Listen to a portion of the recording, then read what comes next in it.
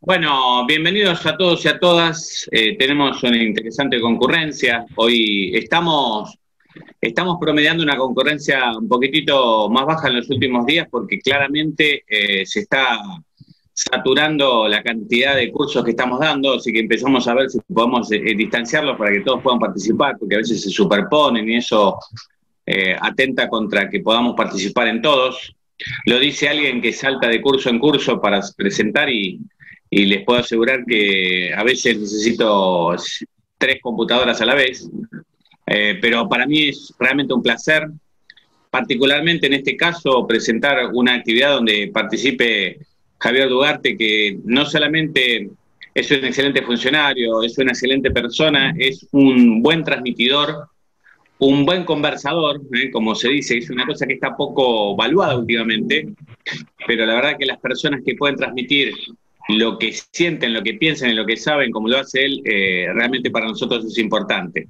Por supuesto, no puedo dejar, como siempre, agradecer a Walter, uno de los, Walter González, director del Instituto del Área de, de Derecho Laboral, que tiene a su vez distintas ramas. Veo acá también al doctor Nicolás Intrán, que es un especialista en Derecho de Seguros, que también maneja todo el tema de RT, por supuesto agradecer a Sergio Arce, que siempre te firme al pie del cañón, y bueno, y a todos ustedes, que a muchos eh, los veo bastante seguidos, como Gabriela Verón, Martín eh, que además es nuestro director del Instituto de Derecho Previsional, en fin, tenemos una interacción muy dinámica, eh, y esta interacción se debe a que, bueno, además de que los medios hoy lo permiten, y de que las necesidades nos obligan, eh, o, las, o las circunstancias nos obligan, lo cierto es que eh, desde el Colegio de Abogados de Morón, en mi carácter de presidente, me puedo dar el lujo de presentar a, grandes profesores, a grandes doctrinarios, a expertos en la materia, a funcionarios judiciales o, o, magistrados y a personas que, como nosotros, pateamos tribunales, como se suele decir, y, creo que eso nos va a enriquecer en un momento claramente difícil, en un momento donde todavía los muertos, que no, no podemos precisar bien cuántos son día a día, porque hasta, eso es complicado de determinar, son muchos, el riesgo es alto, y nosotros que somos una parte de la sociedad, que tenemos una responsabilidad por haber tenido el privilegio de llegar a ser profesionales, universitarios, y poder vivir y ejercer nuestra profesión, creo que tenemos una obligación, una obligación que siempre tuvimos, es esa obligación de difundir, esa obligación de ser referentes en nuestro espacio profesional e inclusive en nuestro espacio social. Por eso el ejemplo que ustedes están dando, porque yo sé que es así, en no arriesgarse innecesariamente, en cuidarse, eh, de no salir si no es necesario, eh, el de tomar todas las precauciones para evitar que esto eh, se complique aún más, sé que lo estuvieron sé que lo van a hacer. Y como siempre les digo, no me cansaré de repetirlo, sé que para ustedes es un esfuerzo extraordinario el que están haciendo. Eh, lo están haciendo los jueces, lo están haciendo muchos funcionarios. Lamentablemente no ha acompañado en la provincia de Buenos Aires al mismo nivel la Asociación de, Judiciales de la provincia, pero sé que los empleados, a pesar de eso, siguen haciendo un esfuerzo tremendo.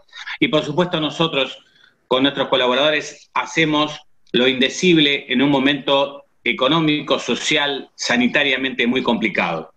Por eso mi mensaje que aprovecho para dar ahora, colándome en cada una de las charlas en que puedo, quizás ya me hayan escuchado muchas veces, es transmitirle que seguimos trabajando para reclamar y lograr, como lo hemos hecho, que la justicia en la provincia de Buenos Aires funcione a la mayor plenitud posible, eh, y por el otro lado, siguiendo los pasos de lo que es cada uno de los actos que está realizando el Gobierno Nacional, que está realizando la Corte, que está realizando la provincia y tratando de indicarles cuáles son las necesidades de los abogados y cuáles son las de la población en general que nosotros representamos.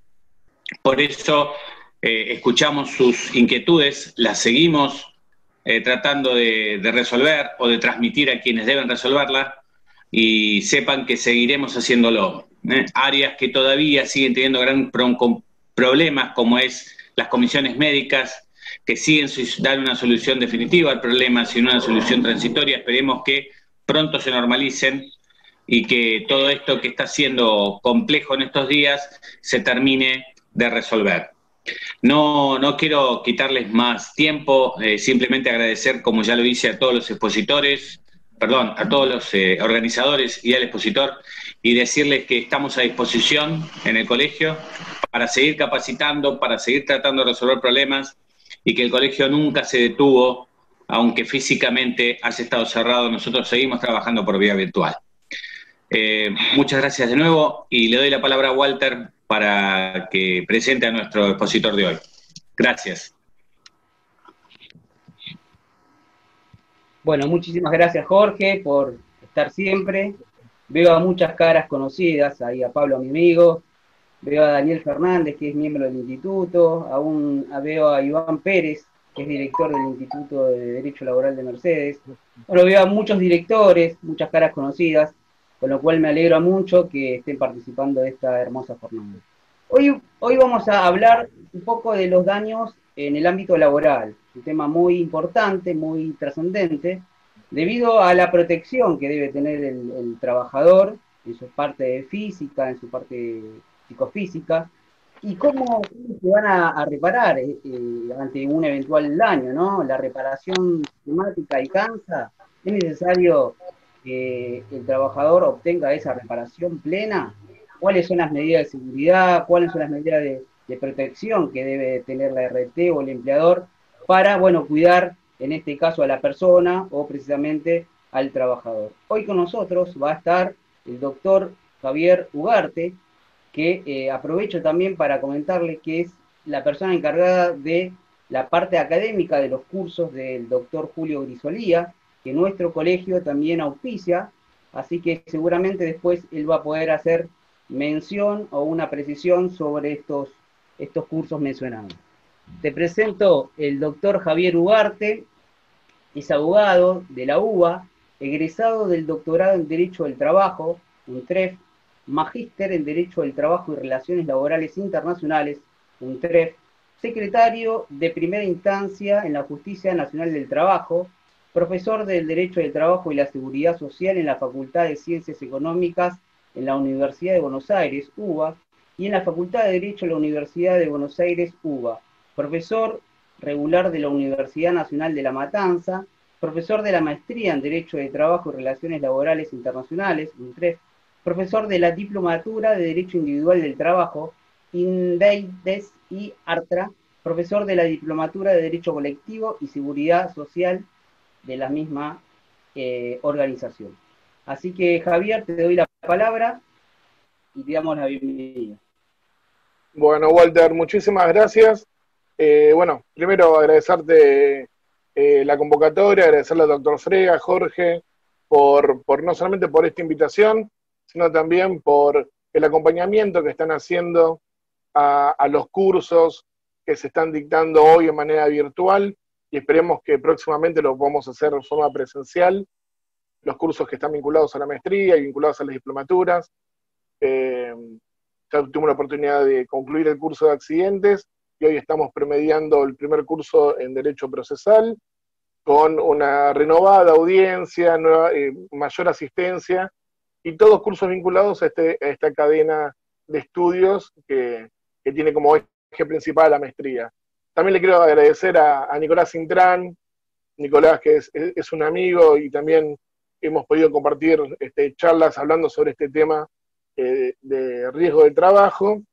Sergio, que, es, nos conocemos de hace mucho, mucho tiempo, eh, compartiendo cositas acá en tribunales, esas, esos pasillos en tribunales, y especialmente, bueno, a todos los colegas que participan del colegio, porque brindan este espacio. Estos son espacios que se crean a partir de lo que uno puede venir a transmitir, de lo que uno quiere compartir como experiencia, y sobre todo también lo que uno se lleva como experiencia, esto es un ida y vuelta. Eh, yo digo que estas no son eh, ni clases ni, ni nada parecido, sino que son encuentros donde compartimos experiencias y transmitimos conocimientos. Transmitimos y recibimos. Eh, no, no puedo tener yo la experiencia del abogado de a pie, del abogado litigante, y difícilmente ustedes puedan tener la experiencia que tenemos nosotros del otro lado del mostrador. Entonces, si hay algo que yo celebro y festejo de la virtualidad, es justamente esta posibilidad de acercarnos en momentos que quizás aún en forma presencial sería más difícil, porque hoy podemos disponer de otros tiempos, de otros espacios, y lo importante es estar sembrando eh, nuevas relaciones para que cuando se levante toda esta situación de emergencia, este aislamiento, este distanciamiento, como quiera llamársele, eh, el resultado sea algo positivo.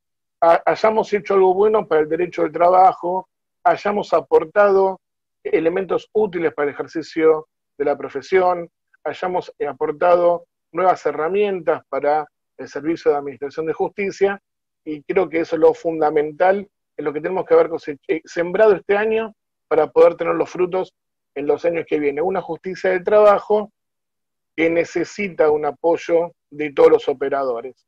Eh, porque ciertamente con lo que nosotros podemos hacer desde los juzgados, eh, no alcanza, no alcanza, es necesaria la, colaboración de todos.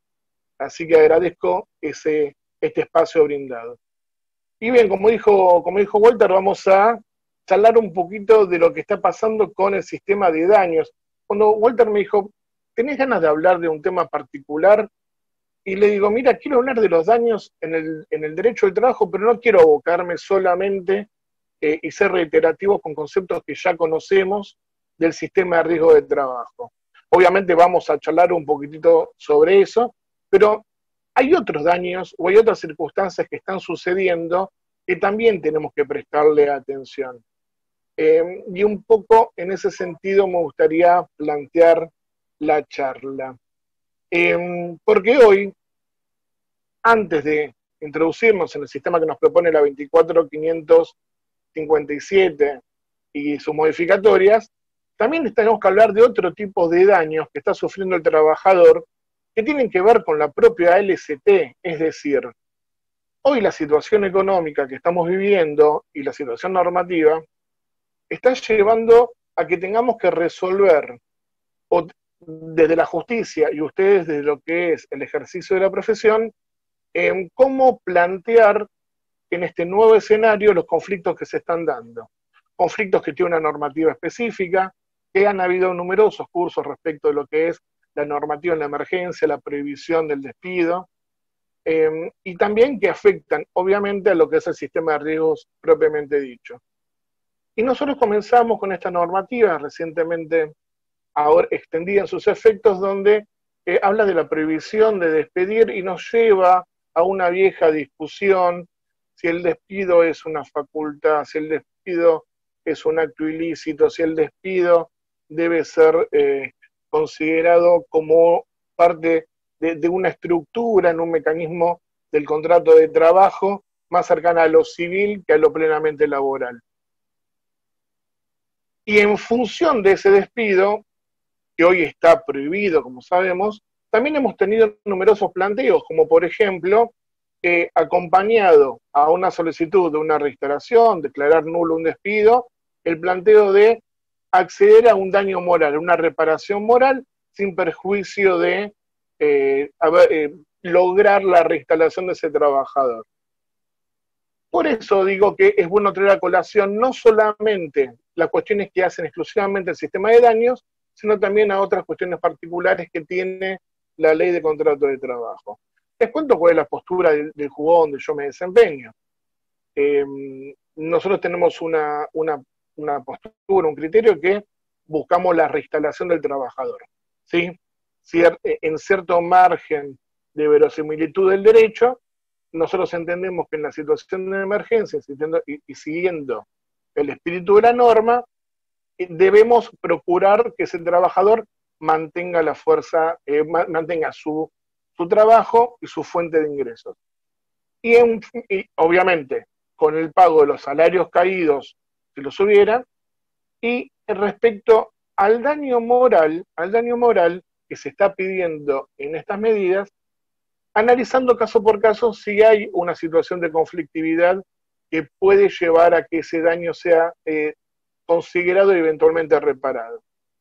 ¿Por qué? Los planteos están hechos en función de el agravio que ha sufrido el trabajador, ese encono en su dignidad, por haber sido despedido o alejado de sus trabajos, cuando una norma expresa si lo prohíbe, y frente a una situación de emergencia eh, donde lo deja en un estado de desprotección aún mayor que en un escenario que comúnmente nosotros conocemos.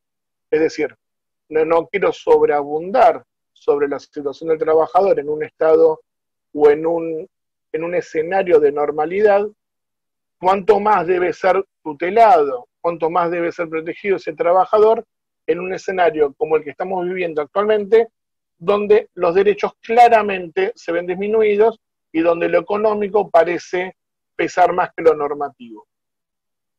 A la pregunta concreta, ¿es posible establecer que hay un daño moral frente a un despido o una suspensión, sea en la etapa del, contrato de trabajo que sea, ejercida de forma irregular por, parte, por la patronal? Hay que ver el caso concreto, pero en general sí, nosotros entendemos que sí. Eh, lejos de lo que podría considerarse un supuesto de conducta temeraria, sí lo que se puede establecer es que si ese trabajador reúne ciertas condiciones en cuanto a su esquema familiar, sostén de familia, eh, manutención de ese grupo, podría establecerse frente a ciertas situaciones la posibilidad de ser resarcido con este daño moral. El daño moral, que sabemos, es de excepción en lo que es la ley de contrato de trabajo, pero que debe ser tenido en consideración. Otras cuestiones que se nos están eh, planteando, siempre en orden a lo que es la, ley de contrato de trabajo, tiene que ver con pedir justamente algún tipo de sanción adicional al empleador por incurrir en estas prácticas que están expresamente prohibidas. Es decir, sin ir a la discusión si el despido es una facultad o si es este, un acto ilícito por parte, por parte del empleador, em, se nos han planteado eh, pedidos de sanciones, eh, eh, sanciones dinerarias a los empleadores por incurrir en estas conductas. A eso sí hemos dicho que no. A eso sí hemos dicho que no, porque son sanciones que normalmente no se encuentran habilitadas dentro de lo que es la ley de contrato de trabajo, y si lo están, las sanciones concomitorias, y, si están, lo están de forma restringida. Se me ocurre hoy poner, por ejemplo, una sanción expresa, el 132 bis, pero tiene que ser una cuestión puntual, expresa y de forma y analizada de forma restrictiva, con lo cual, con lo cual entender que aplicar otro tipo de sanciones en este marco, más allá de lo que dice la norma, no sería, no sería lo apropiado. ¿Por qué? Porque la norma en sí establece la sanción. La sanción es la nulidad de ese acto disolutorio, el pago de los salarios caídos y eventualmente, si comprendemos, irían los daños, los daños morales.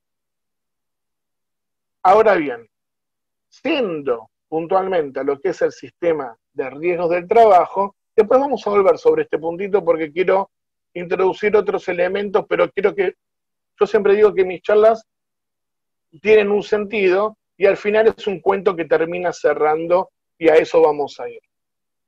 Yendo al sistema de riesgos del trabajo, hoy nos encontramos con un panorama bastante particular. Plenamente aplicables las previsiones de la 27348, hoy con las modificaciones sufridas a partir de la normatividad dictada en el marco del COVID, la Corte de la Provincia de Buenos Aires, la Suprema Corte de la Provincia de Buenos Aires, dicta un fallo que para mí es trascendental a nivel nacional, que, como bien todos saben, es el fallo Marchetti. ¿Y por qué digo que es trascendental el fallo Marchetti? Porque el fallo Marchetti viene a reafirmar un sistema, no solamente se aboca a la, cuestión constitucional de la provincia de Buenos Aires, sino que en el voto de la doctora Kogan se reafirma, se reafirma lo dicho en su momento en el dictamen Pogonza, sosteniendo el sistema. Porque ustedes seguramente ya han estudiado y analizado lo que es el fallo Marchetti, particularmente el voto de la doctora Cohen lo que hace es reafirmar este sistema de paso administrativo previo y obligatorio por las comisiones médicas antes de ir a la justicia. Como bien saben todos, en Capital Federal nosotros tenemos un sistema de revisión por ante los tribunales de primera instancia y en Provincia de Buenos Aires, por la aplicación del artículo 2J, lo que hay es esta acción ordinaria de revisión. Todavía sigo yendo al psicólogo para poder entender que es una acción ordinaria de revisión. Creo que algún día lo voy a comprender.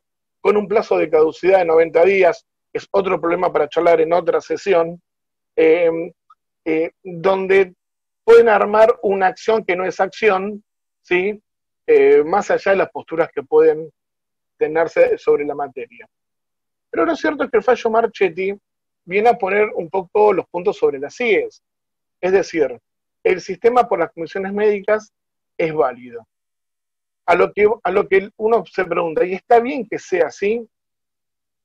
Entonces me retrotraigo a la lectura que hice de algunos de, de los jueces con los que pude trabajar y que me formaron, y recuerdo, entre muchos otros, una, un ensayo hecho por el doctor Miguel Massa, cuando en su momento se le, se le pedía un tipo de opinión respecto a este artículo primero de la ley 27348, respecto de si era constitucional o no volver al sistema de comisiones médicas como paso obligatorio.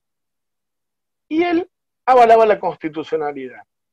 ¿En qué sentido? Diciendo que tener un paso obligatorio previo administrativo no era cercenar o no era privar al justiciable de un acceso a la justicia y que ese tránsito administrativo previo tenía un tiempo limitado y que después el, el trabajador podía acceder a la justicia de una u otra forma. Lo que sí remarcaba en su presentación, en su escrito, era que había que procurar que ese plazo de tránsito por ante las comisiones médicas sea un plazo eh, prudente y razonable, no un plazo que pudiera traer algún tipo de convenientes justamente por agotamiento del mismo.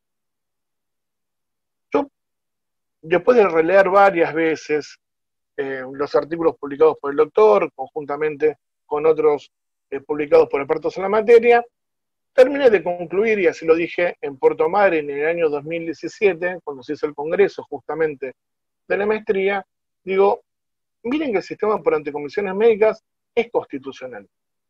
Aunque no nos guste, a mí me preguntan, ¿a vos te gusta el sistema por comisiones médicas? No, no me gusta, me parece horrible. Me parece terrible. Pero hay dos formas de analizar las leyes. Las leyes las podemos analizar en el marco en que fueron dictadas o podemos analizar las leyes en el marco de lo que nos gustaría de lo que fueran. Claramente, no la 27348, la 26773 y la 24557 legislativamente son un asco, son un asco, son feas, son malas, no sirven, no sirven eh, para lo que no todos quisiéramos que puedan servir, es decir, para cuidar el capital del trabajador, en definitiva es su fuerza laborativa. Pero hay que reconocerle a este sistema que a partir de la 24557 se cambió un eje que es muy importante para el trabajador. ¿sí? Y se cambió el eje en materia de la función de la norma. Y pasamos de un eje que es indemnizar a un trabajador por lo que perdió a otro donde focaliza en la prevención, o debiera focalizar en la prevención. ¿Y dónde está lo importante? Lo interesante es pensar y reflexionar todos juntos que si yo voy sobre lo indemnizatorio, un trabajador que pierde un brazo, un brazo cuánto vale, y no llega a valerlo, pero un millón de pesos, dos millones de pesos, tres millones de pesos, sabemos que no vale eso un brazo, sabemos que eh, no, no, se alcanzan esas cifras. Ahora, por más que nosotros le paguemos ese brazo a ese trabajador, 10 millones de pesos, ¿Lo estamos indemnizando como marca el viejo Código Civil o como marca nuevo? Eh, retrotrayendo todos los daños y volviendo a una situación como si el daño no hubiese existido? No, no sucede eso. Ese trabajador siniestrado perdió su capacidad laborativa y lo vamos a indemnizar. Y si tiene 60 años tendrá algún futuro eh, por vivir, pero si tiene 20 años se quedó sin capital de por vida. ¿Sí? Ahora, si nosotros nos corremos al eje que nos propone la 24557 y lo hacemos cumplir, que ahí está el kit de la cuestión, nosotros estamos garantizando que ese trabajador minimice o va a desaparecer los riesgos de perder ese brazo. Entonces, ese trabajador que en esa relación que tiene con el empleador, lo único que tiene para ofrecer es su capital, es su fuerza laborativa, entonces ve realmente asegurado su futuro. Y lo pienso desde una visión honesta del artículo 14 bis. Digo, yo le quiero garantizar a ese trabajador que pueda tener una vida laborativa plena, entonces está bien correr el eje. Donde el sistema falla, obviamente está, es en la prevención. Y tuvo que venir, no quiero ser reiterativo con eh, conceptos que seguramente ya manejaron en otros encuentros, tuvo que venir la jurisprudencia primero a dejar sentado cuál es el alcance del deber de esa prevención y tuvieron que venir reformas a la norma, con la 26773 y con la 27348. Pero es importante, como siempre digo en los, encuentros donde me toca exponer, morder ese pedacito de paño y no soltar. La prevención, prevención, fundamental, porque no solamente, no solamente hace el sistema, sino que hace a la responsabilidad de los agentes del sistema para eventuales reclamos volvamos a nuestras comisiones médicas. Estas comisiones médicas que fueron, insisto, haciendo un poquitito de historia, readecuadas a aquellas creadas por la 24241 y que hoy funcionan al servicio del sistema de riesgo de trabajo. ¿Son buenas las comisiones médicas? No, no son buenas. ¿Hay que trabajar sobre las comisiones médicas? Claro que hay que trabajar sobre las comisiones médicas. Pero me tocaba el otro día, en una charla dada para, para las jornadas patagónicas de Derecho, exponer una idea muy similar a esta y comentarles. Yo estoy de acuerdo con ustedes que las comisiones médicas no son buenas. Mi pregunta es, si yo borro del esquema de las comisiones médicas, ¿qué tengo enfrente? La realidad es que si yo borro el procedimiento ante comisiones médicas, lo que tengo enfrente es un procedimiento que puede ser eh, tan largo como de a cuatro, seis u ocho años más lejos, nosotros estamos resolviendo en el, juzgado eh, y, poniéndonos muy al día de un montón de, cosas, juicios que tienen 6, 7 años. Estamos hablando de accidentes, estamos hablando de trabajadores no que perdieron su trabajo, su fuente de ingreso, estamos hablando de trabajadores que perdieron su capital. Estamos hablando de trabajadores que durante estos 6, 7 años tuvieron que sobrevivir con una capacidad distinta a la que tenían en el momento de plantear el juicio. Y yo me pregunto entonces, corro a las comisiones médicas, dejo a las aseguradoras, un juicio de 6, 7 años. ¿Estoy haciendo justicia cuando dicto sentencia? ¿Estoy ayudando a ese trabajador? ¿Qué le pasó a ese trabajador durante 6, 7 años? Como contrapunto, las comisiones médicas bajo el sistema de la 27348 y la reglamentación del 298 y todos los demás decretos y resoluciones que vinieron con posterioridad, me propone un procedimiento de seis meses, perdón, de 60 días, más 30 días, siempre viendo hábil, siempre hablando de días hábiles, para resolver la cuestión. Y me dice, en caso de silencio o en caso de, agotamiento del plazo, puede ir a la justicia en vía ordinaria. Entonces digo, a ver, espérenme un minutito ustedes me dicen que yo tengo, yo parezco Fantino, pero ustedes me dicen que por un lado tengo un procedimiento que me puede llevar de 6 a 8 años y por otro lado, en 6 meses esto lo podría tener resuelto. Y nos estamos quejando de eso. Primera cuestión para observar. Las comisiones médicas no funcionan. Bueno, hagamos que funcionen. Hagamos que funcionen bien. Trabajemos sobre eso. Generemos un procedimiento administrativo que le garantice tanto el trabajador como a su letrado la, plena garantía del debido proceso administrativo, donde el trabajador no sea un saqueador del sistema, donde el, abogado no sea el cómplice de ese saqueador del sistema, donde en comisiones médicas no se lo vea el trabajador como aquel que no tiene nada y pretende una indemnización que no le corresponde porque lo que nos está proponiendo el sistema es tener una, solución medianamente aceptable en un término lógico. Y cuando digo medianamente aceptable, lo digo en términos de poder llegar a un punto medio entre cuál es la indemnización justa y el tiempo de proceso.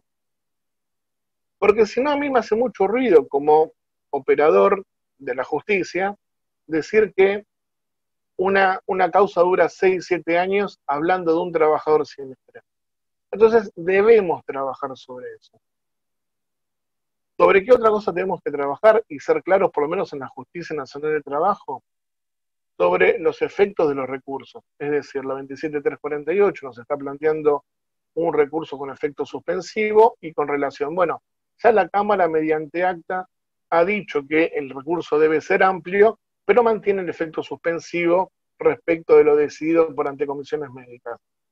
Es necesario que ese efecto no sea suspensivo, porque si no nos estamos alejando mucho de aquello que marca el 14 bis en función de eh, poder generar que ese trabajador siniestrado, lesionado en su derecho más básico, se pueda acercar a una suma indemnizatoria sin perjuicio de poder seguir reclamando lo que por derecho le corresponde. Digo, y la ley de contrato de trabajo, en lo que es el orden público laboral, artículo 260, con el 12 del LST, le da el derecho al trabajador de percibir cierta suma y después reclamar por lo que corresponde, por las diferencias que corresponden, ¿por qué no aplicar el mismo razonamiento a estas situaciones de minusvalías o incapacidades laborativas para que el trabajador pueda acercarse a una suma indemnizatoria y después poder ir por lo que en definitiva pueda corresponderle a decisión o a manos de lo que pueda eh, decidir un juez.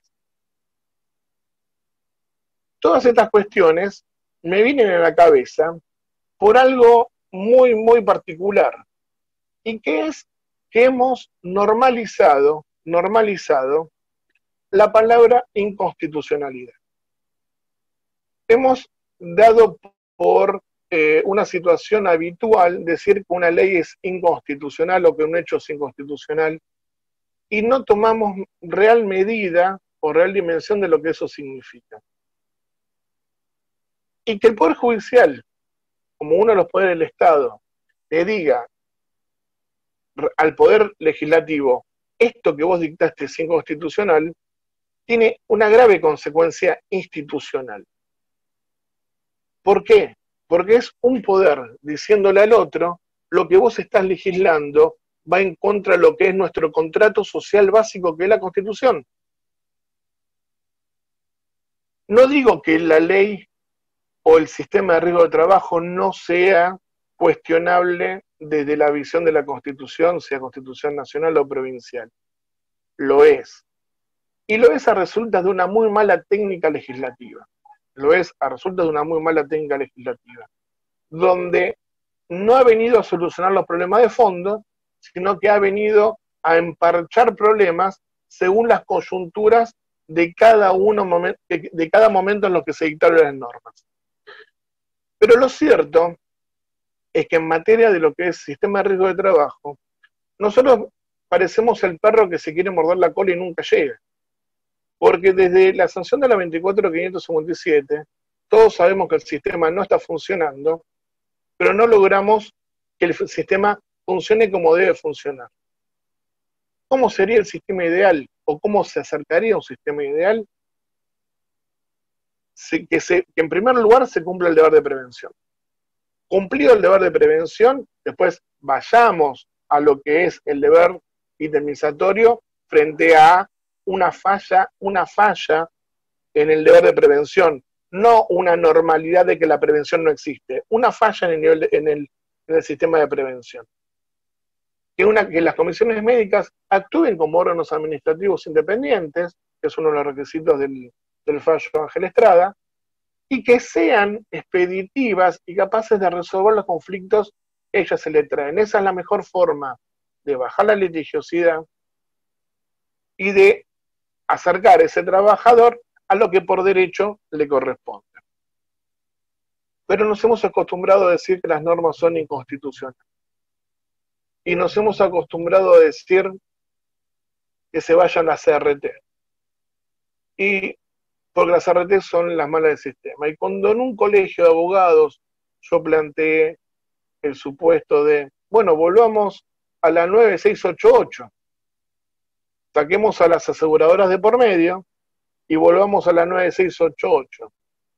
Un abogado me dijo, un colega, me dijo, bien, me dice, pero mira, Javier, que acá ya hemos tenido experiencias de ese tipo, que cuando el Estado estatizó, se hizo cargo, supo manejar la situación y el sistema mejoró.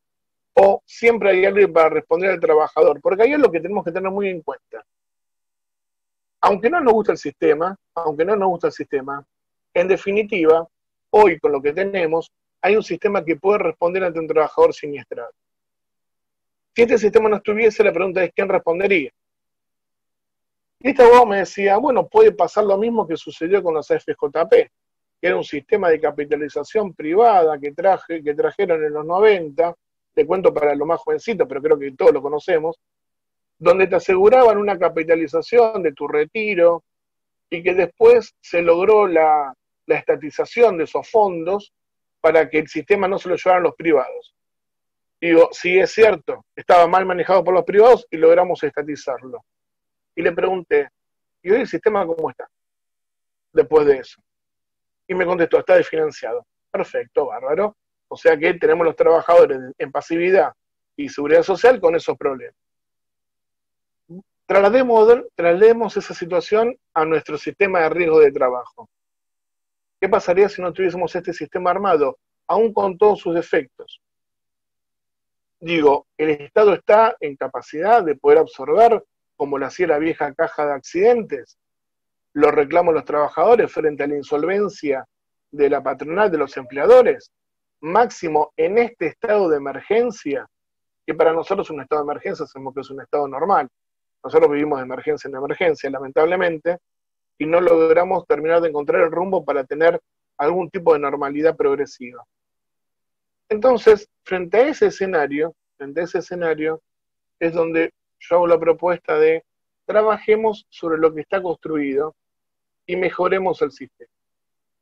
Si nosotros tenemos una entidad que está obligada a realizar actos de prevención, obliguémosla a que lo haga. ¿Cómo podemos obligarla? Bueno, ejerciendo nuestros derechos e incluso tomando mano de otros recursos que el ordenamiento nos da. Y eso me lleva a otra disertación que tuve, creo que fue una de las primeras, allá en Puerto Iguazú, cuando hablé no de un concepto novedoso, sino que es un concepto que ya se conoce y se venía trabajando, de daños punitivos.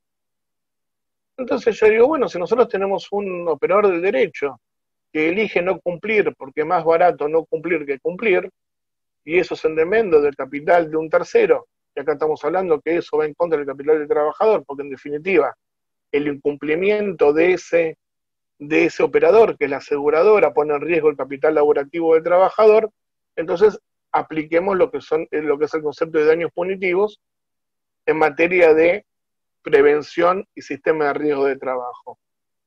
He leído he leído en alguna, en alguna tesis, en algún libro, eh, aplicar daños punitivos desde el punto de vista del consumidor, eh, tomando como un tercero el trabajador. Yo lo veo de una forma mucho más directa con el factor de atribución de responsabilidad a quien incumple y a quien incumple para tener un rédito económico. Y así lo planteo en mi tesis de maestría.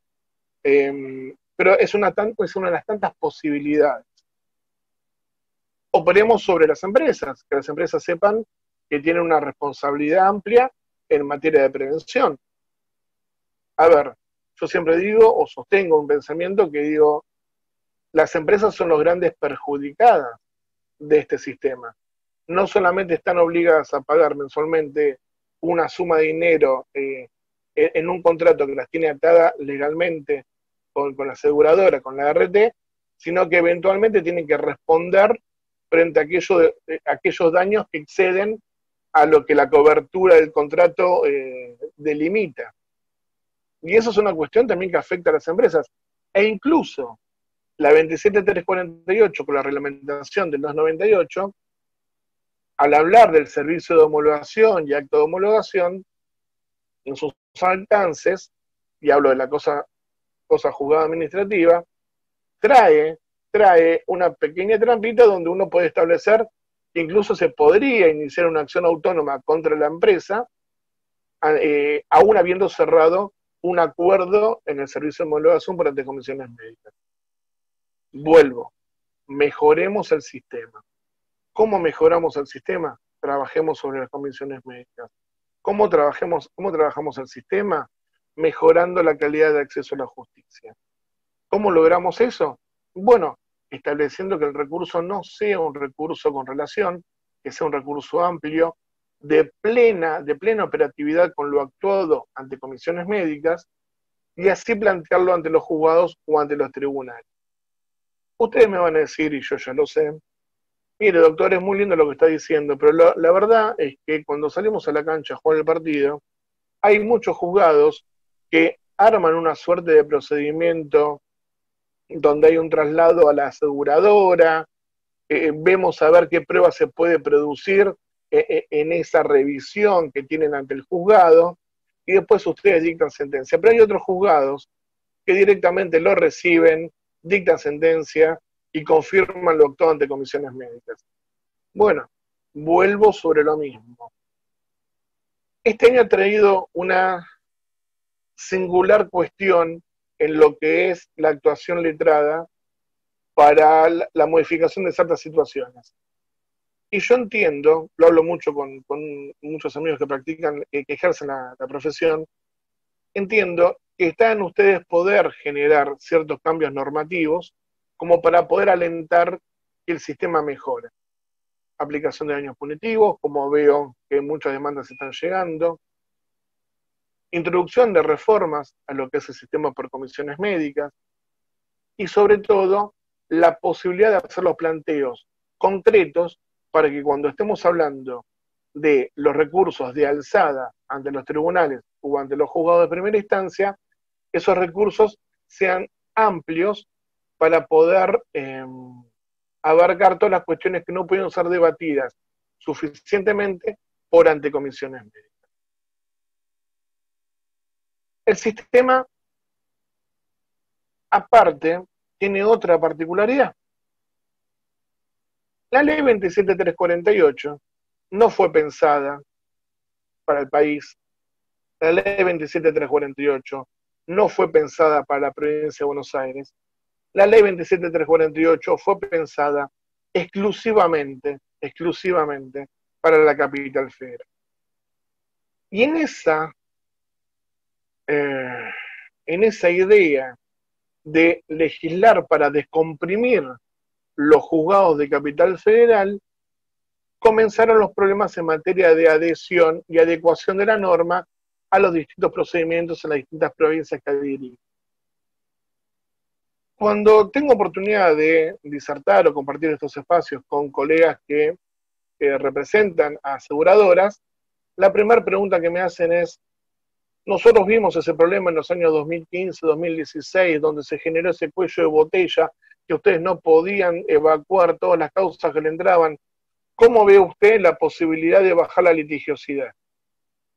Y después de tomarme unos minutos le dije, la primera forma de, bajar la litigiosidad es cumpliendo, cumpliendo la norma. Es la forma más fácil de bajar la litigiosidad. Y le digo, que cumplir la norma no significa que ustedes se eh, desoigan lo que es el emprendimiento o la necesidad económica de la aseguradora de tener algún tipo de ganancia o de generar riqueza. Digo, bajar la litigiosidad hasta, es una estrategia que pueden llevar adelante con eh, la teoría oscilante de los cinco dedos, ¿sí? La teoría oscilante de los cinco dedos, ¿la conocen? Que más o menos dice, ¿qué pasaría si a un trabajador que, tiene un 20% de capacidad real, la RT, en vez de reconocerle un 2% le reconoce un 15 o un 12. ¿Sí? Ese trabajador litigaría si frente al cálculo de IBM, en vez de reconocerle un IBM de 15, mm, que le tienen que reconocer, de 15 mil pesos, la RT le reconociera un IBM de 10 o de 12, en vez de reconocerle uno de 7. Ese trabajador litigaría. Y si aún el trabajador tuviese la voluntad de litigar, ¿tomaría alguien ese caso por tan poca diferencia de puntos? Entonces lo que yo le comentaba a estos colegas que representan aseguradoras, digo, el primer secreto es cumplir la norma o cumplir lo mejor posible la norma. Digo, y por otro lado, un secreto que es importantísimo en materia de riesgo de trabajo es cumplir con el deber de prevención. Si cumplimos con el deber de prevención, nosotros vamos a poder lograr tener una disminución de litigio. Y cuando yo les dije cumplir con el deber de prevención, me dijeron, lo que pasa es que también hay que ajustar las contingencias. Y este es otro punto donde yo los quiero llevar para que reflexionemos. Históricamente, históricamente, eh, saben que las contingencias, allá por la ley 9688, hablamos de accidentes profesionales y enfermedades profesionales. Los accidentes sin itinerario se incorporaron como creación jurisprudencial a lo largo del tiempo y después fueron normativizados por la 24557. Pero en este sistema de seguro, en este sistema de prevención de riesgo de trabajo, no deja de ser un sistema de seguros. Y cuando uno estudia el sistema de seguros, el doctor Citrán no me va a dejar mentir en este sentido, hay un factor que es la previsibilidad, que es algo importantísimo, es algo importantísimo. ¿Y dónde se ve la previsibilidad en este sistema? Bueno, la previsibilidad en este sistema se ve de forma clara en lo que fue el dictado eh, original de la 24557 en materia de enfermedades profesionales y en lo sucedido por el artículo 3 de la 26773 en materia de exclusión de los accidentes sin. Es decir, es un anhelo que tienen las aseguradoras poder limitar la cobertura que tienen ante ciertas contingencias. Y por eso llevaron ese burda, esa burda maniobra de crear un listado taxativo de enfermedades profesionales por las cuales se iban a responder, que generó la inconstitucionalidad dictada por el fallo Silva y numerosos pronunciamientos de la justicia, de la justicia que fueron en ese sentido. Estableciendo el sistema que aún hoy tenemos reforzado también con la normativa dictada en el COVID, en el, sistema donde, en definitiva, aún siendo una cuestión fundada o un litigio fundado en lo que es la ley especial, rige el principio de la relación de la causalidad. ¿sí? Más allá de las presunciones que establece el sistema, rige el principio de la eh, causalidad, de la relación causal eh, en la enfermedad y las tareas prestadas. Los accidentes no los pueden limitar. Los accidentes, como es un hecho imprevisible, no los pueden limitar. Ahora, fíjense con qué particularidad y cómo lo hicieron, primero normativamente y luego tras del fallo expósito, limitaron una de las contingencias que son los, que son los accidentes sin donde podemos tener una razón normativa del por qué lo, deberíamos limitar o lo deberíamos apartar. Que tiene que ver, sí, con el, eh, con el antiguo 1113 del Código Civil, con la, falta de, atribución de responsabilidad a la, aseguradora o al empleador en ese marco, hablando de lo que son initíneres, pero eligieron, eligieron hacerlo por vía de una simplificación diciendo que la interpretación de la norma en el artículo tercero simplemente los excluía en una interpretación bastante particular. Perdón, con lo cual, me sonó una alarma, disculpen, con lo cual, nótese cómo el sistema, a su vez, que es un sistema de seguros, busca con las contingencias poder tener eh, un mecanismo donde las aseguradoras no respondan por todo lo que deben responder en el marco aún de las, del contrato de afiliación que sostiene con las empresas también un elemento que debe ser revisado. Yendo un poco a lo que es la actualidad del sistema hoy, la 27348 nos trae dos o tres interrogantes fundamentales más allá de lo que es el sistema de comisiones médicas. El sistema de comisiones médicas, insisto, y vuelvo sobre los mis dichos, es un sistema que no, resulta simpático, pero sí entiendo necesario y sobre el cual hay que trabajar. La ley, aparte, modifica lo que es el sistema de eh, establecimiento del IBM. Por un lado, nos habla de un concepto de remuneración amplia para, su consideración y por otro lado nos limita con la reglamentación a un concepto de remuneración cotizante o tenida en cuenta para los aportes y contribución. ¿Cuáles, a ver, son contrapuestos los sistemas cuando se hablan lo que marca en referencia al artículo este primero del convenio 95 de la OIT a lo que marca el artículo 44-45 del 298? Entiendo que no son contrapuestos un sistema y otro, sino que simplemente hacen eh, una retroalimentación o hacen el mismo juego normativo que podemos encontrar en la misma ley de contrato de trabajo cuando se habla de conceptos remunerativos, no remunerativos, y la expresa referencia a lo que son los conceptos que aportan al sistema de la seguridad social y aquellos que no aportan. Con lo cual yo no veo ahí una gran eh, disociación entre un término y otro. Veo que la ley hace una formulación, mientras que la reglamentación lo que hace es adecuarlo a lo que es puramente el sistema, a lo, que son las necesidades puramente del sistema. Y aparte reafirma el sistema porque tiene una relación lógica entre el, valor que se utiliza para cotizar el aporte respecto de cada trabajador a lo que la ART en definitiva debe pagar por la siniestralidad de cada trabajador, por aquellas prestaciones que le deba cada trabajador en el marco de una contingencia parecida. Con lo cual ahí no le veo ningún tipo de eh, problemática. Lo que sí veo que es problemático es eh, el decreto 669, donde altera de forma arbitraria los intereses, eh, oscilando a conveniencia del sistema la imposición de intereses hasta cierta época o la imposición de RIPTE por resultar más conveniente y adecuado para el sistema.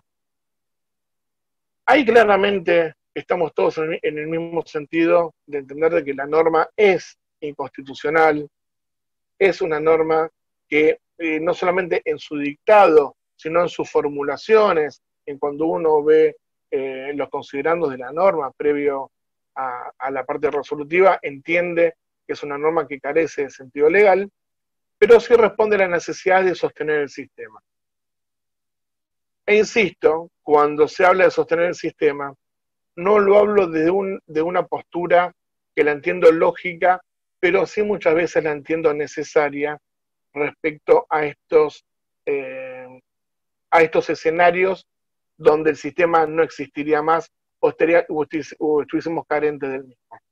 ¿Y cuáles son las soluciones que se pueden proponer al sistema? ¿Qué es lo que nos está sucediendo hoy? ¿Qué es lo que nos está sucediendo hoy? Em, como ustedes bien saben, las comisiones médicas, eh, hasta donde tengo entendido, no están funcionando. Sí, corríjame si es que me estoy equivocando, pero em, no están funcionando, lo están haciendo de forma muy limitada, con lo cual em, no se está dando curso a los, a los nuevos reclamos, salvo aquellos que van de la mano de eh, el COVID este, y en su relación. Ahora, eh, ¿qué es lo que tenemos que tener eh, atención en materia normativa del COVID? Que me han hecho preguntas en varios, en varios encuentros.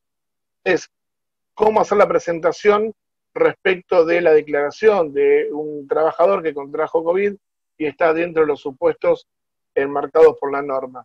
Bueno, en ese sentido, eh, se, dispone eh, de una mesa virtual para hacer los reclamos y el reclamo es relativamente expeditivo, es relativamente predictivo, siempre y cuando uno se encuentre dentro de lo que es el, el supuesto de la, eh, de la presunción de que ese trabajador, al ser esencial y estar vinculado con el sistema de, salud y o seguridad, eh, tiene esa tiene la enfermedad por las eh, funciones cumplidas o por las tareas prestadas.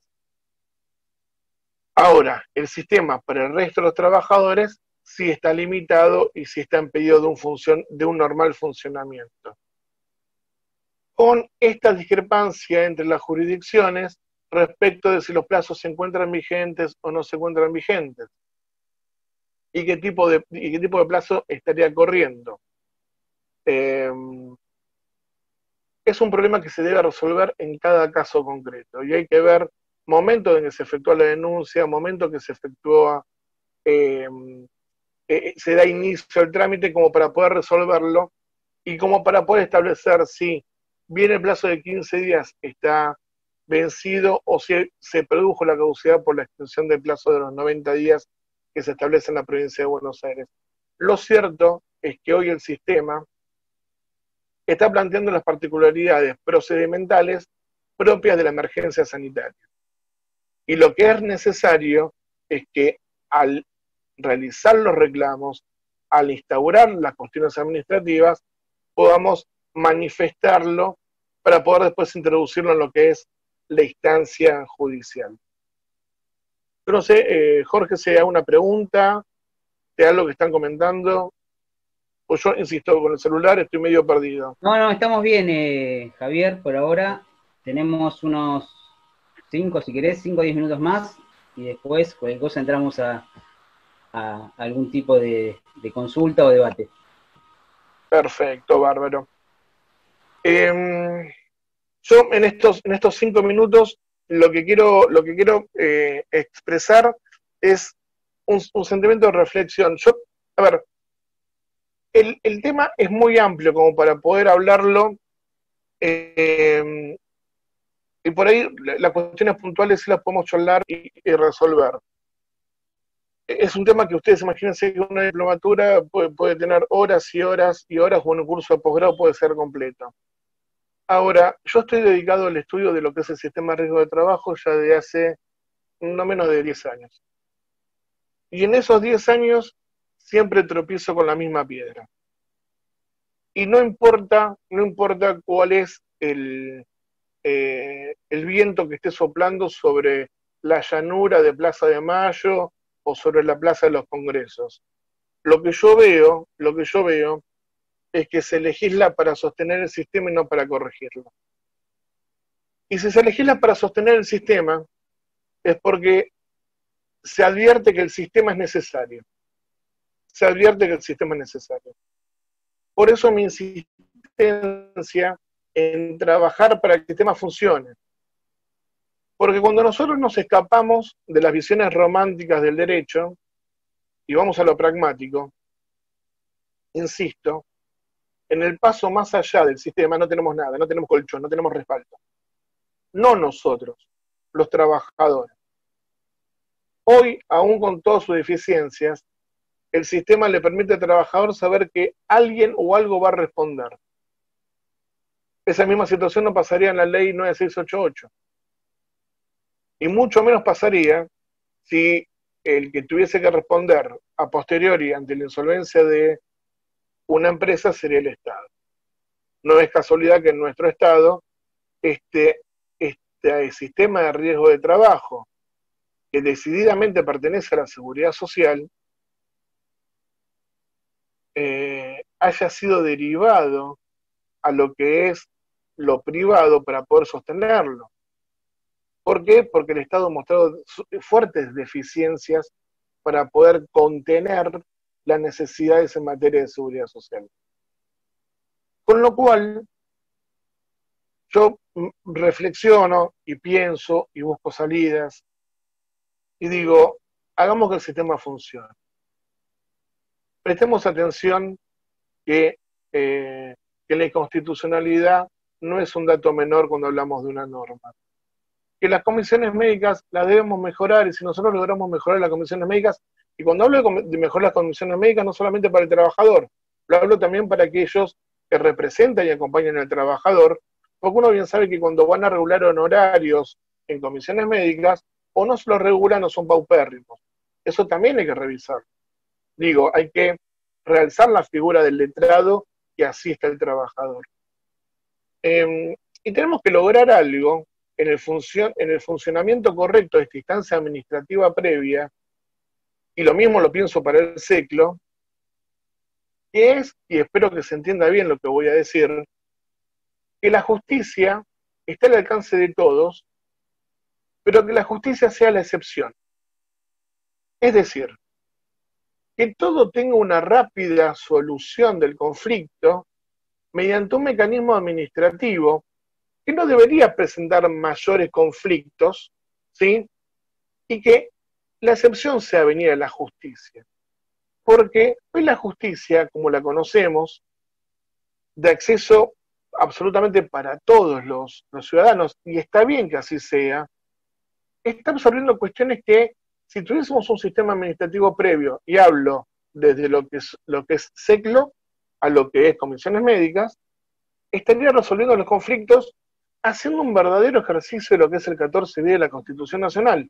Es decir, logrando que ese trabajador, frente a un daño que, que vive como consecuencia de ese contrato de trabajo, sea un daño vinculado a lo meramente patrimonial o un daño vinculado a lo que es su capacidad laborativa, pueda acercarse con, un, con una justa indemnización en un tiempo razonable. A veces tiemblo y me preocupo mucho cuando insiste con el traspaso de la justicia nacional a la ciudad.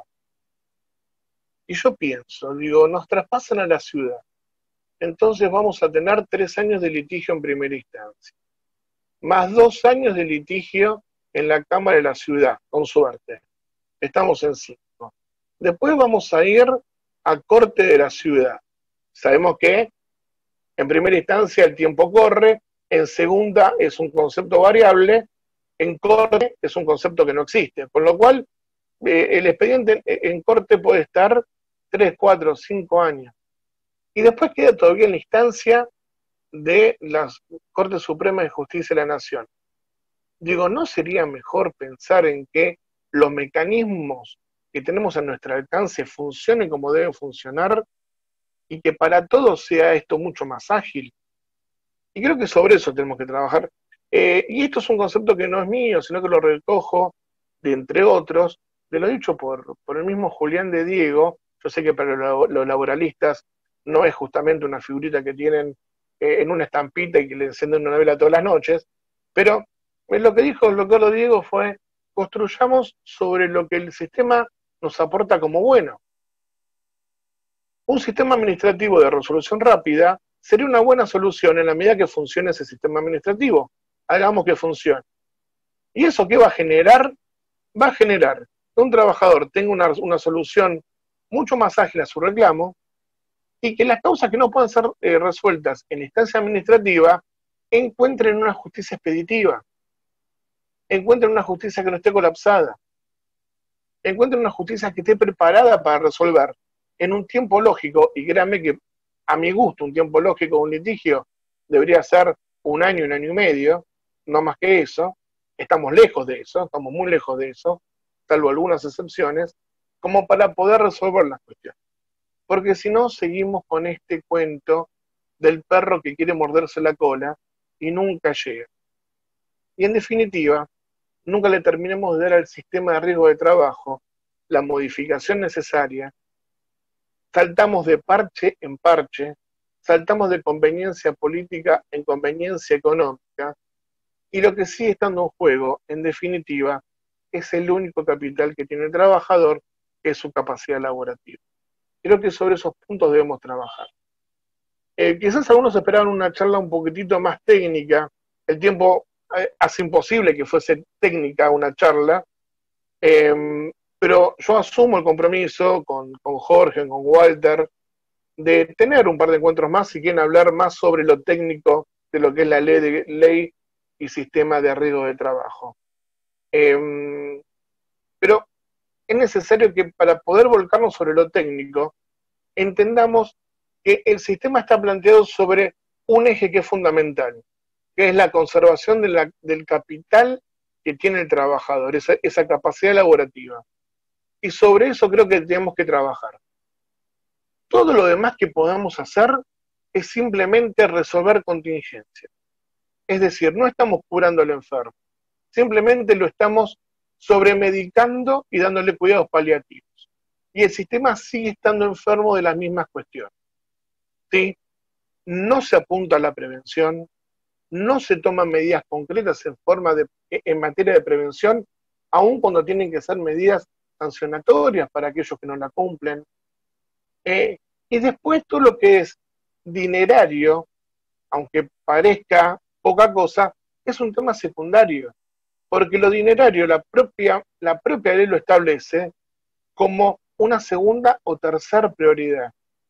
Volvamos sobre la prevención, volvamos sobre el ejercicio pleno de derechos de los trabajadores, y en ese ejercicio pleno de derechos de los trabajadores es tener una pronta solución a los conflictos.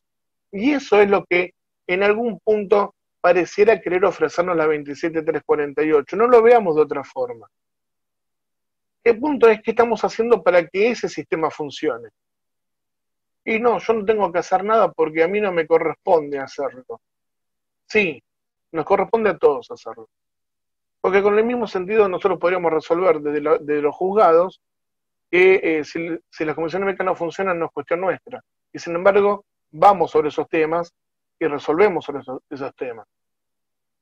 Se da un momento muy especial donde, y, yo lo celebro, que los colegios de abogados de todo el país están trabajando de una forma muy intensa a través de, de sus presidentes de los distintos institutos para generar cambios. Creo que es un momento donde hay que aportar las soluciones al sistema y dejar de quejarnos de un sistema la queja permanente nos puede poner en riesgo el sistema y creo que es algo no conveniente. Creo que hoy están, eh, hoy están, eh, hoy están celebrando jornadas a nivel nacional eh, y están haciendo un, gran trabajo sobre eso. Creo que tiene que venir de ustedes también la propuesta de una modificación cerda del sistema, que genere un sistema donde si hay que litigar, que se litigue, pero que no sea la conducta enfermiza de decir esto no funciona, me quejo, no funciona, me quejo. Aportemos soluciones. Démosle, en definitiva, un verdadero rostro humano a este sistema de riesgo de trabajo. Eh, hagamos un sistema de trabajo para los un sistema de de trabajo que sea útil para los trabajadores. Eh, y no nos quedemos en cuestiones meramente operativas. ¿sí? Así que bueno, Walter, Jorge, eh, no sé cómo estamos con el tiempo. Si tienen preguntas puntuales, las, podemos este, abordar, pero bueno, no, no, no, no, no, me pareció prudente comenzar un tema puntual eh, desde lo técnico, este, sino dar un pantallazo por todo lo que uno ve y concibe del sistema en sí. Seguro, seguro. Tuvimos una hora veinte pasando por diferentes matices del daño laboral. Obviamente que hay muchos puntos que no coincidimos, obviamente, eh, pero bueno, eso es lo bueno de, aprender, de poder disertir, disentir, eh, como por ejemplo, como el tema de, que hablaste de la acción ordinaria o la acción de revisión, creo que el fallo Marchetti es claro, los diferentes jueces dijeron que es una acción plena, que es una acción ordinaria, pero bueno, cada cual tiene su punto de vista y, aparte que el 2J casualmente fue, el 2J no fue eh, elaborado por la comisión de Colproba que yo integré en la última parte de la reforma, la 15057, sino que fue establecida por el legislador. Y el legislador dijo puntualmente que iban a copiar a la legislación de Jujuy y a la legislación de Córdoba. El tema que en ese peg copy, como se hace siempre, se redactó mal. Y, la, legislación de Córdoba dice que es, una, que es una acción ordinaria, como la de Jujuy, Inclusive la de Jujuy estableció los plazos, los plazos de fondo de, los dos años, a partir de cuándo, a partir de, esa, de ese acto de cierre administrativo. Con lo cual creo que ese artículo, que creo que es el artículo 8 del procedimiento de Jujuy, es clarísimo y muy preciso. Lamentablemente nuestro legislador no hizo lo mismo, ¿no? Pero a, mí lo, a, mí lo, que me preocupa, a mí lo que me preocupa, y ya no de ahora, sino de hace mucho tiempo, es que necesitemos, y lo hablo como ciudadano, recurrentemente en la justicia que, para que nos explique los alcances de las normas y que estemos legislando de una manera que sea necesaria que la justicia termine legislando donde la justicia no debería legislar. ¿Me explico? Sí, sí, Porque cuando la justicia está definiendo, nos ponen en un lugar donde no deberíamos estar, a esos puntos donde hay que corregir lo que es la técnica legislativa. Lo digo con el mayor de los respetos, lo digo con el mayor de los respetos, pero eso hay que corregirlo. Porque eh, estamos, estamos acostumbrados, mal acostumbrados, a que la normativa en lo que es el eh, sistema de riesgo de trabajo sea defectuosa. Y cuando sale la norma, estamos esperando a ver qué va a decir la justicia respecto al alcance de la norma. Y lo vemos como una normalidad, lo vemos como algo que es frecuente y que está bien que se suceda. Y la verdad es que debería ser la excepcionalidad, las normas deberían ser claras y deberían ser precisas para que eh, sean operativas desde que se dictan sin mayores eh, conflictos. Eh, en, eso creo que, estamos todos de acuerdo. Y nosotros, como vos lo bien lo mencionaste, es trabajar en la construcción de un mejor sistema. Nosotros desde el colegio, desde Colproa, sabés que estamos, estamos trabajando con la superintendencia, eh, continuamente hay reuniones, es más, tuvimos un evento que lo coordinó el doctor Cintrán, que también está participando en este momento, lo hicimos conjuntamente con el, con el Instituto de Derecho Laboral, pero a veces es muy difícil, es muy difícil, porque a veces no se respetan esos plazos de 60 días, no se sabe desde cuándo son los 60 días, si al trabajador le rechazan el accidente, tiene que iniciar un procedimiento, tiene que pasar seis meses y después va por la divergencia, tiene otros seis o ocho meses más. Entonces, a veces es muy complejo el sistema. Cuando tenés rechazos del 70% de incapacidades ceros o porcentajes muy bajos, cuando vas a la valoración del daño y tenés un porcentaje determinado y pasás por las comisiones y te dan cero, o sea, son muchas cuestiones que hay que mejorar. Eh, por, eso, por, eso, hablo. La provisión, estamos muy en contra de, las comisiones. ¿no? Sí, sí, uno lo, uno lo sabe. Uno lo sabe. Uno cuando, uno cuando brinda su opinión tiene algún callo profesional que tiene que ver con, la, con el ejercicio de la función es que uno en el ejercicio de la función uno em, no busca ser simpático. La verdad es que uno en lo que decide muchas veces, eh, para unos es lindo y para otros no. Con lo cual, este, la simpatía para nosotros es, un concepto muy relativo, más allá de lo ameno que puede ser una charla que, podemos mantener. Em, pero es cierto, es cierto lo que, lo, que vos marcás respecto de los, de los contratiempos y conflictos que se dan en los senos de las comisiones médicas por cómo está articulado el proceso y por cómo se manejan. Pero yo insisto, eh, yo creo que la solución está por mejorar ese sistema, eh, por lograr modificaciones donde no, sea un procedimiento tan arbitrario como lo es, que uno reconoce que es arbitrario, pero por eso uno insiste en mejorar ese sistema, porque, insisto, lamentablemente lo que viene después o lo que está como alternativa, no sé si le garantiza a un trabajador eh, el sentido de justicia eh, certera, rápida y eficaz. Entonces, eh, es, un punto que, a veces no me deja dormir. Sí, Te iba a hacer una consulta con respecto a eso. Con respecto a los accidentes anteriores, por ejemplo, lo, cómo se manejan en, tu jugada, ¿no? Con esos accidentes que ocurrieron antes de eh, la entrada de vigencia de la 27348, que no tiene ningún tipo de actualización. Acá en provincia, hace, hace poco salió un fallo a guiar con gobierno de la provincia de Buenos Aires, que en cierta forma actualizó esos, ese, esa, esa indemnización por la incapacidad del trabajador, que sabemos que siempre se licúa y que cuando la percibe el trabajador no es la, no es la real, ¿no? Sí. Nosotros, nosotros estamos actualizando en esos fallos según las actas, o sea, eh, hacemos el, cálculo con la aplicación de RIPTE, actualizamos a las tasas dispuestas por las actas de la Cámara. Esa es la actualización que estamos nosotros disponiendo como tribunal, como juzgado. ¿Y esos son los intereses, sería? Esos son los, los intereses. O sea, no prevemos una, una actualización distinta a esa. Perfecto. Hay una consulta, eh, Javier, em, el doctor Fernández. Quisiera saber qué opina el disertante respecto del fallo Aquino. ¿Perdió vigencia y sus principios? Está bien, sí, pero no es que el fallo Aquino haya perdido su vigencia en cuanto a la habilitación de la, de la vía judicial. Tiene que ver con que la habilitación de la vía judicial está presente. ¿Y en qué está presente? Eh, vamos a poner un ejemplo claro eh, ustedes inician un trámite ante comisiones médicas. Si inician trámite ante comisiones médicas, pasan los 60 días. Ustedes presentan la acción. ¿sí?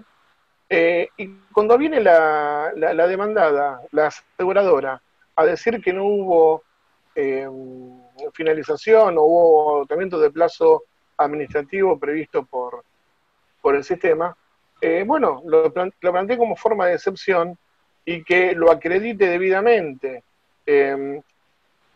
y de esa forma no es que, se, que dogmáticamente se le prive el acceso a la justicia o la vía judicial al trabajador, sino que se interpretan las normas en base a em, lo que es el principio general, que es el acceso a la justicia debe ser irrestricto. Estamos todos de acuerdo.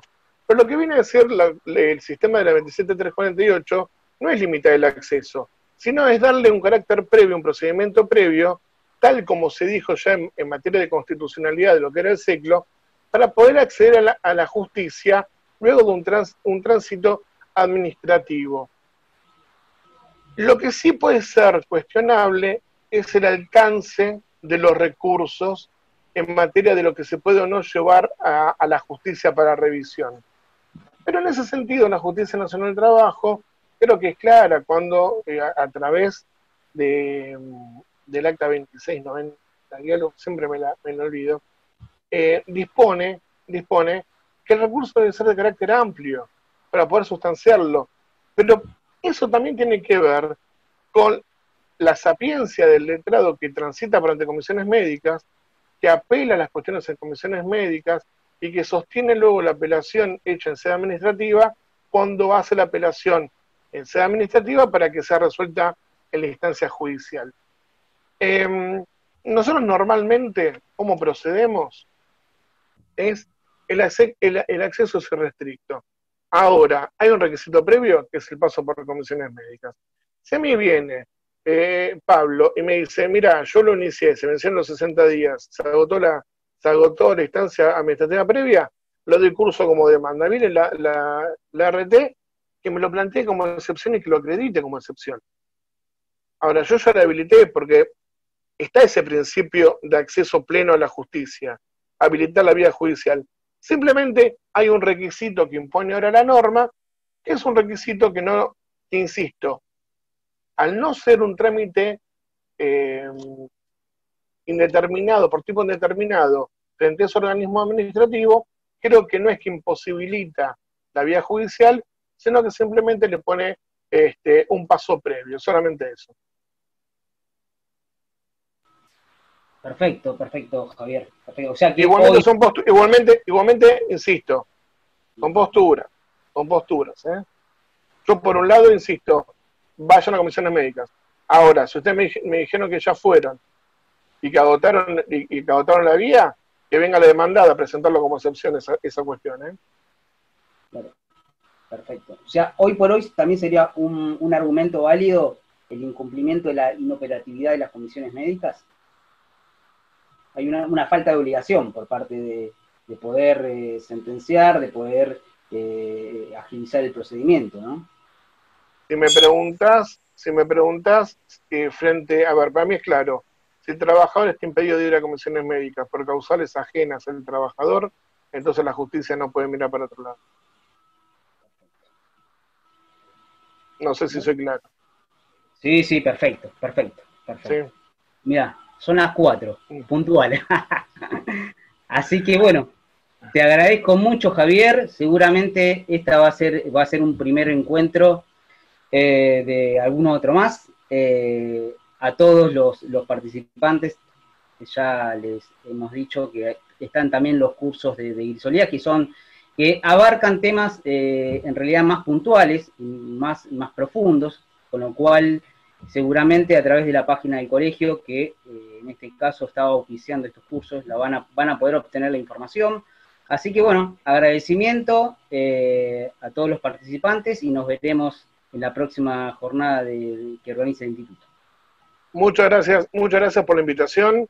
Eh, insisto, eh, eh, podamos tener en lo futuro una charla un poquitito más técnica sobre cuestiones puntuales.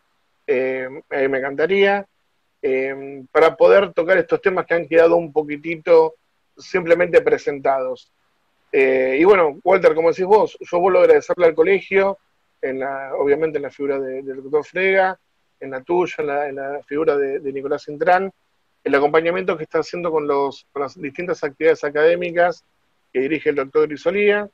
Y bueno, eh, estamos a disposición y con ganas de poder entablar nuevas actividades en conjunto. Así que eh, quedo en comunicación y, para, el momento que ustedes así lo, lo puedan establecer. Y como dice el doctor Frega, esto tiene que ser una casa de estudios, con lo cual tenemos que estar sumamente capacitados y como él dice, que los morenenses son, somos los mejores abogados, así que tenemos que, que sí o sí capacitarnos, no, no nos queda otra.